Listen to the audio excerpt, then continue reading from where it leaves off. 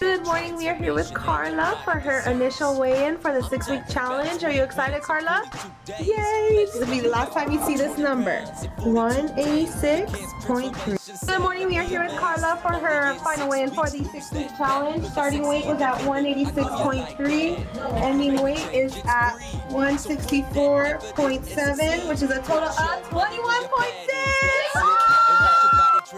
like magic. The Camp Transformation Center. Sign up.